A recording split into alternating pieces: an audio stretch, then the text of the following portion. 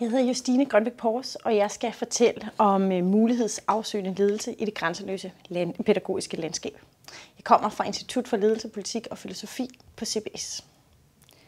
Og den situation, som vi står i lige nu på det pædagogiske felt, det er jo, at vi øh, er vidne til en vis reformiver øh, fra politisk side. Vi har været igennem et forløb, øh, hvor vi i stigende grad, øh, når vi taler om folkeskole, er gået fra at tænke kvalitet som undervisning til at tænke kvalitet som læring. Der har været sat rigtig meget fokus på den enkelte elevs særlige potentiale, som vores pædagogiske institutioner skal blive bedre til at lægge til rette for.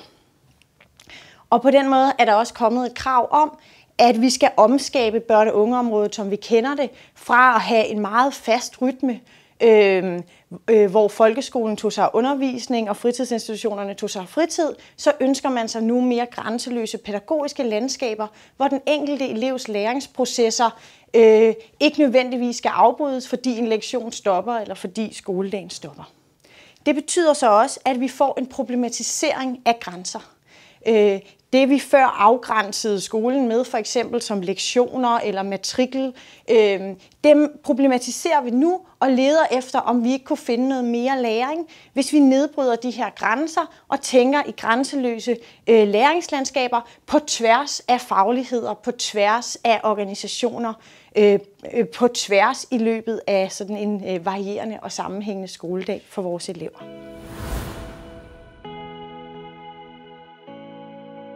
Det betyder så også, at alt det, øh, som vi før ikke har kigget så meget på der i grænsen, nemlig mellemrummet mellem for eksempel lektion og fritid, øh, mellem leg og læring. Alle de der mellemrum, de dukker pludselig op som noget, som, øh, som øh, pædagoger og lærere skal kigge i og se, om de ikke kunne finde et eller andet med hele øh, idealet om den åbne skole, så bliver det der mellemrum mellem skolen og dens omverden et sted, hvor skolen skal begynde at lede efter, kunne der ikke dukke noget kvalitet op her, øh, hvis vi begynder at samarbejde med den lokale svømmeklub, øh, med spejderne, med fritids- og ungdomsklubberne, kunne vi så ikke finde nogle nye muligheder for læring der i mellemrummene øh, mellem institutioner, der i mellemrummene mellem leg og læring, hvor vi tidligere ikke har kigget.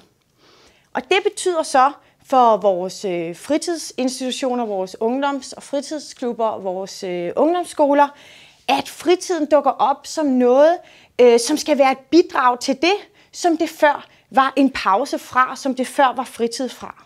Så man kan ikke længere simpelt opgrænse, at her foregår der undervisning, og her har vi struktureret læringsmål, og herover har vi fri leg og, øh, og fritid. Nej, nu begynder vi med det her fokus på de grænseløse pædagogiske landskaber og lede efter, kunne vi ikke i lejen og fritiden og det mere ustrukturerede, kunne vi ikke også lede der efter nogle nye muligheder øh, for læring? Det kan man for eksempel se i det citat her, som jeg har taget med her, som er fra et oplæg fra, øh, fra KL og Undervisningsministeriet sammen, hvor de skriver, at det vi leder efter nu i den her nye politiske virkelighed, det er, at vi skal skabe en naturlig sammenhæng mellem de pædagogiske aktiviteter, læringssituationer og fritid, og det vil jeg lægge mærke til især den sidste sætning her, at det er netop i mellemrummet mellem leg og læring, at nye muligheder kan opstå. Og det er meget kendetegnende for den tænkning omkring børne- og ungeområdet, som vi er vidne til lige nu, at man ligesom tror på, at hvis vi leder i alle de der mellemrum mellem det, vi før har delt op, undervisning og fritid, læring og leg, øh, forskellige institutioner, skole og fritidsklubber. Hvis vi leder i de der mellemrum der, så kan vi finde nogle nye muligheder øh, øh, for øh, at skabe mere læring for børn.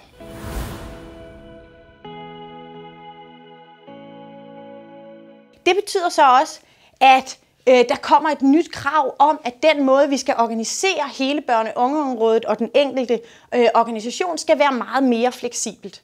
Når vi får den her øh, idé med skolereformen om en sammenhængende og varieret skoledag, jamen så kan man ikke længere simpelt, hvis man er en folkeskole, operere med et schema, øh, hvor man på forhånd beslu- har besluttet, at vi ved i hvert fald, at 3. A, de har matematik øh, mandag morgen fra 11 til 12 inde i det her lokale. Nej, man begynder at problematisere de der former for organisatoriske strukturer og lede efter, øh, hvordan kan vi lægge mere fleksibelt til rette, både i folkeskolen, men også ud af folkeskolen og på tværs i øh, det børne- øh, og børne- og ungeområdet. Overalt så får vi sådan nogle idealer om, om vi kan indrette os med mere fleksibel øh, holddannelse, sådan så det ikke altid er på forhånd er besluttet, hvilken børne-ungegruppe der skal være, hvorhen, hvornår, og også fleksibel personalebemanding.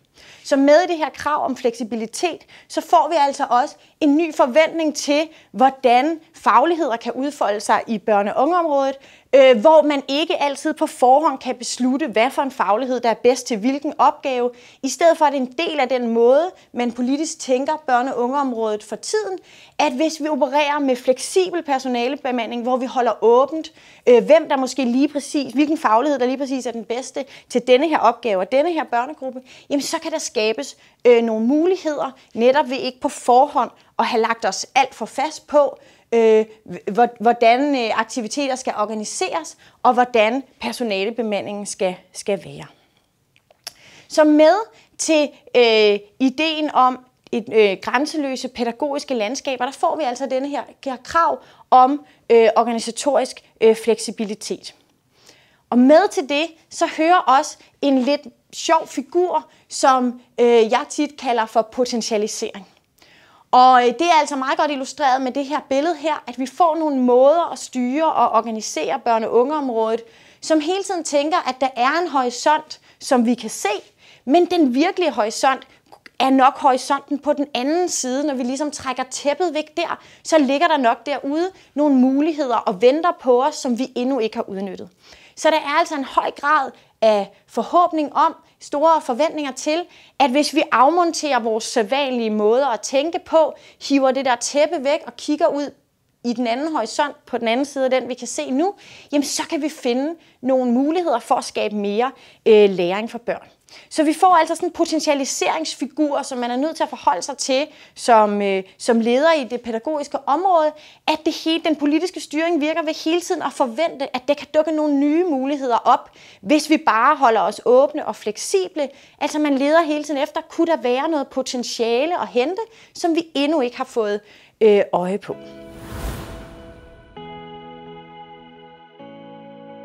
Det her, det betyder så, at Øh, der er nogle centrale præmisser, som vi har været vant til at bruge, når vi leder og organiserer i det pædagogiske område, som vi ikke længere kan tage for givet på samme måde. Fordi hvad en ungdomsskole, en fritidsklub eller en ungdomsklub kan være, bliver underlagt den her potentialitetsfigur, så man ikke kan tage udgangspunkt i, at vi er dem her, og vi er her, og vi ligger på samme tidspunkt hver dag osv.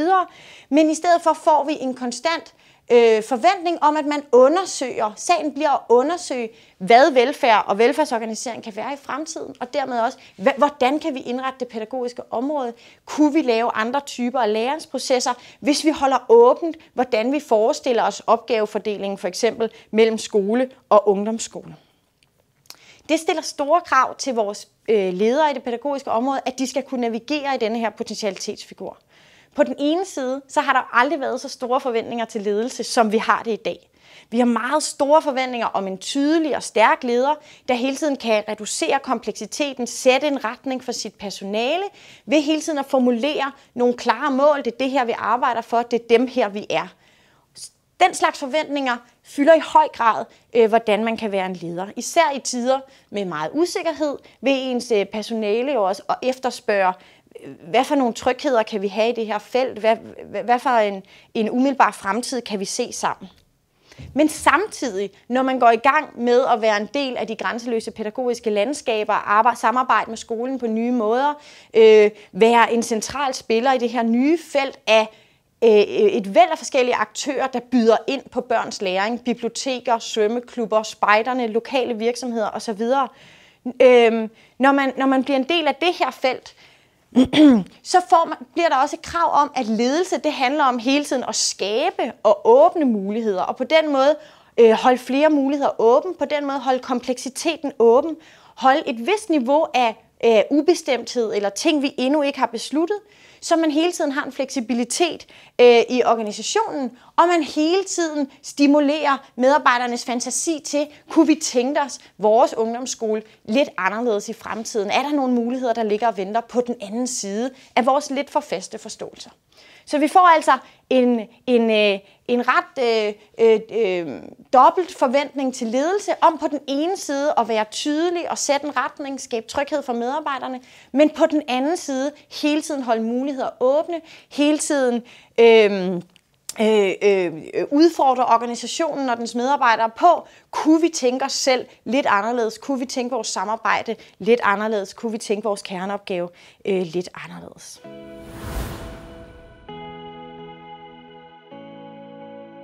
Som jeg også allerede har været inde på, så stiller det her rigtig store krav til personaleledelse, til ledelse af de fagligheder, som skal kunne navigere i det her nye, øh, mere dynamiske øh, og åbne felt. Det kan man måske kalde fra tværfaglighed, for mange af os har jo arbejdet tværfagligt i rigtig mange år. Det er der sådan set ikke noget nyt i. Øh, men der sker måske et eller andet her, hvor øh, også hvad det vil sige at være en fagperson bliver underlagt øh, potentialitetsfiguren. Fordi det håb, som er indlejret blandt andet i skolereformen, det er jo, at der kan findes nogle nye ressourcer, øh, hvis vi genopfinder forholdet mellem lærer og pædagog. Hvis pædagogerne kan komme ind i skolen på nogle nye måder, kunne der så ikke dukke nogle muligheder for læring op. Vel at mærke, uden at man bruger øh, flere ressourcer. Så det er ikke fordi, man bare svømmer i tid til møder og tid til koordinering og øh, tid til at udvikle noget sammen. Der er simpelthen den her forestilling om, at hvis bare vi, vi arbejder sammen på nye måder, så vil der dukke noget mere læring op.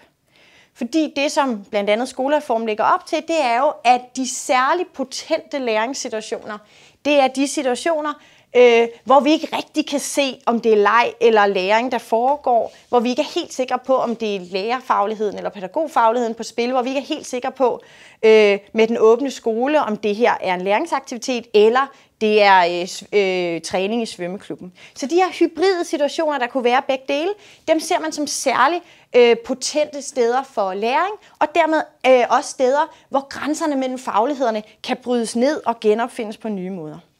Og det bliver svært at navigere i øh, med en stærk faglighed, fordi i de her potentielle læringsrum er det ikke altid afgjort på forhånd, øh, hvilken faglighed der er den rette faglighed til opgaven. Så der er også en, øh, en, en, en balance her, der skal findes mellem faglig, at være faglig stærk, men også være fleksibel, kunne se sin faglighed på nye måder, byde ind øh, med, med måder at tænke pædagogik og læring på, som man måske ikke havde tænkt før.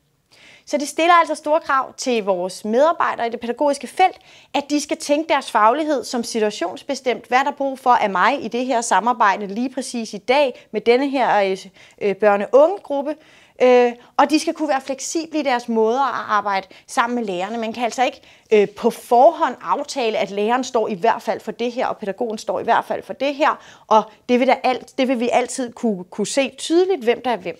Nej, det der efterspørges er den her fleksibilitet i forhold til situationen. Så vi får altså med den øh, skolereformen den lidt sjove situation, at pædagogerne inviteres indenfor i skolen, men som evindelige øh, genopfindelser af, hvad kan pædagogik være lige præcis her. Så man kan ikke bare vade ind i folkeskolen med de samme ting, som man, øh, man, man lavede nede i fritidsklubben. Man skal ligesom genopfinde, man skal tage alt det bedste med. Man er inviteret ind netop fordi man kunne noget særligt med børn og unge i den kontekst. Og man skal ligesom formå at komme ind i skolen med det, genopfinde, hvad kunne en, en, øh, en god pædagogisk aktivitet være i det her nye regime. Så også når vi kigger på medarbejderledelse, så får vi altså en opløsning af nogle ting, som vi før har kunne tage for givet. Det der med, at hvis bare man havde en, har en stærk faglighed, eller hvis bare man har en velformuleret professionsstrategi, jamen så har man en nøgle til et godt samarbejde. Det holder ligesom ikke øh, helt mere. Selvfølgelig skal man være faglig stærk, ellers skal man heller ikke være faglig fleksibel, og selvfølgelig skal professionen have en strategi, men det alene er ikke længere nogen privilegeret vej til øh, at skabe et godt samarbejde og løse kompleksiteten i, hvem gør hvad og hvordan tilrettelægger vi det her. Fordi det er netop en del af styringen, som vi får med, med folkeskolereformen, hele tiden at eksperimentere med, hvad kan vi forstå ved faglighed i de her nye øh, øh, samarbejder.